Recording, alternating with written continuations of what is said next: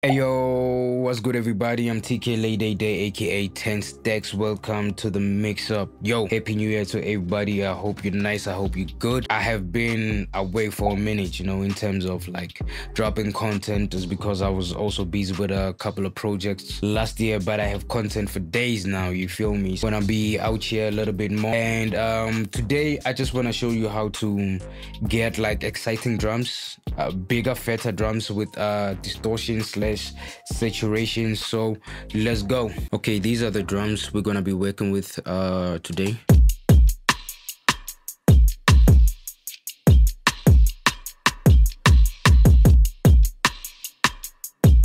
very simple and um, what i usually do is i take my percussions and then i put them in this aux and then the aux i send it into my drum drum aux.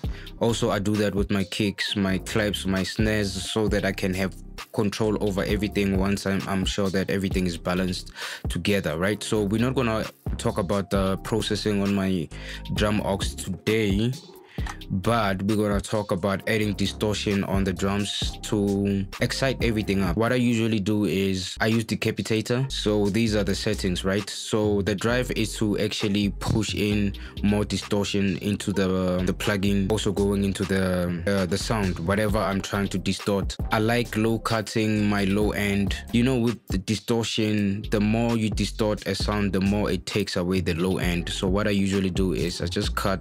So decapitator has like five modules.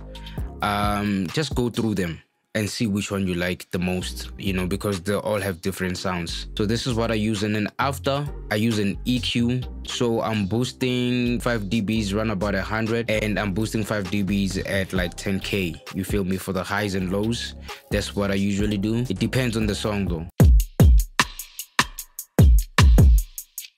So what we want to do is add in the distortion until we feel like, you know what, this is hella right, this is correct, this sounds better. Oh, did you hear the noise? See now, that's crazy. That can be an effect for like some designing or whatever, right? But we just want a little bit of distortion within the drums.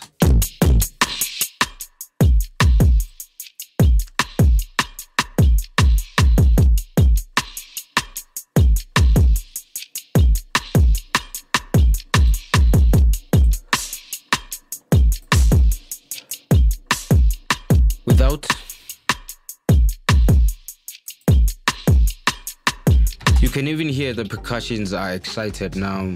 Even the um, the kick has a little bit of distortion. That means i'm doing it i'm doing too much you feel me? So just set this thing to taste a little bit of distortion is actually dope you feel me? Because when everything plays within the um, the song sometimes you hear it sometimes you don't. Sometimes you want to hear it sometimes you don't want to hear it. It just depends on what song you're working on or you spoke to the artist or the artist told you you know what? I need a little bit distortion. I need my my song to be a little bit dirty. That's what you do.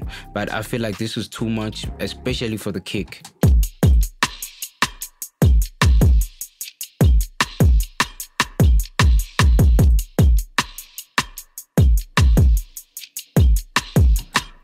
also if you feel like the low ends are just creeping out you can just take this down. Like sometimes you don't need this. So my thing is if you feel like you are boosting too much on the kick you can just do this. And you can also just put in another EQ if you don't want to affect the kick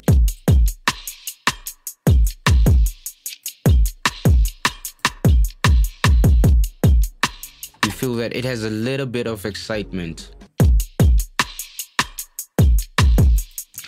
This actually helps when you have like too many things in your song, like, you know, I'm talking about instruments. So let's play it with the 808.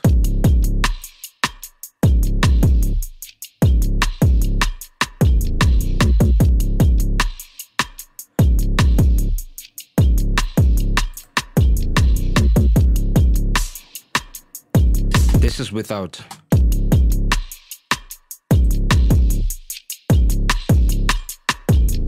This is with.